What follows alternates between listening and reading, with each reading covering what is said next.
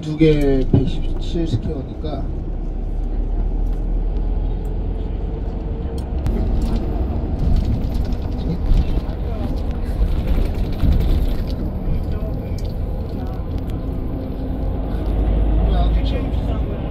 아, 지금 이 동네까지 다 한국 분들이 많이 살아요. 건물도 대한민국 영사관이 있고요. 거기에 한인 이 동네가 구 한인타운이에요. 그래도 지금 도로가에서는 뭐 잘 못 느끼시겠지만 실제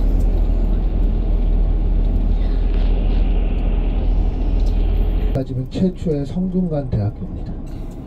처음으로 유교 사상을 받을 리왕조라는 어제 수상인형도 볼때 말한 왕조 있죠.